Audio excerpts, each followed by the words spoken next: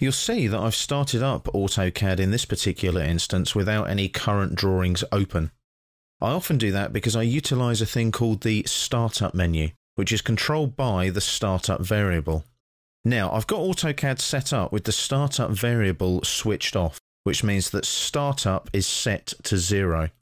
So if that's the case and I go up here and click on New, what I'll get is a menu that defaults to the AutoCAD template menu. Now, for a new user, sometimes this can be a little bit complex because you don't know what these templates do. For a seasoned AutoCAD user, though, you would know that ACAD ISO is a metric template and ACAD.dwt is an imperial template. You can use either of these templates or you can just hit cancel and that will just open up a blank drawing. I'm going to open up a metric template in this case and click on open like so and that'll open up a blank drawing. And as you can see, it's a default blank metric template with the grid switched on. So I'll just switch the grid off there. If I type startup now, like so, and press enter, you'll see that the value is zero, which means that the startup variable is actually off. So if I set that to one and press enter, startup variable is now switched on. So if I now close this drawing, save changes no, and now when I click on new, I get create new drawing and I get the option of opening a drawing, starting from scratch, either imperial or metric, using a template or using a wizard to set up the settings in my drawing. So what I'm going to do is start from scratch here and use metric. When I click on metric and click on OK, that will bring up an entirely new blank metric drawing. I'm going to go start from scratch here and I'm going to select metric and I'm going to click on OK. I'm just starting a blank metric drawing. Now I'm not going to use that drawing whatsoever. The reason I've got a blank drawing open is I need to have one open to use what is called the markup set manager. So it's just a blank drawing that you need to open when you first start up AutoCAD to actually follow along with this particular video. However, the next part of the exercise, you will need one of the files in your working files, and it is there. I've saved it there already for you. It's a DWF file. But we're going to open up that DWF file from AutoCAD this time so that we can see the redline markup that was made in Autodesk Design Review. Now to do that, like I said, you need a blank drawing open. You then go to your View tab here on the ribbon. Now in your palettes here, you'll see this funny little icon here with what looks like some clouds behind it. It's your Markup Set Manager. So you click there, like so. Takes a few seconds to load up, and there it is there.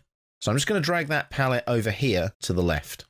Now, at the moment, we don't have any markups open, so I click on the down arrow and click on open there. And I need to go and find my specific marked up DWF file. So I click on movies and work files. And what I need to do is find the actual file that I need to work with.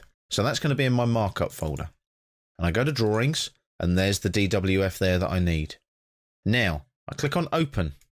As soon as I click on open, there's the A3 landscape tab that I plotted from the previous drawing. So you can see there it says 06 Autodesk Design Review Complete A3 Landscape DWF. That will be in your working file, so you can find that file. Click on the plus sign and it shows the actual revision that was marked on the DWF check DIMS. Now the lovely thing is I can double click on this layout tab sheet here. If I double click that, that will actually open up the drawing. So I'm now in 06 Autodesk Design Review complete, along with, you'll notice, my red line marker from Autodesk Design Review.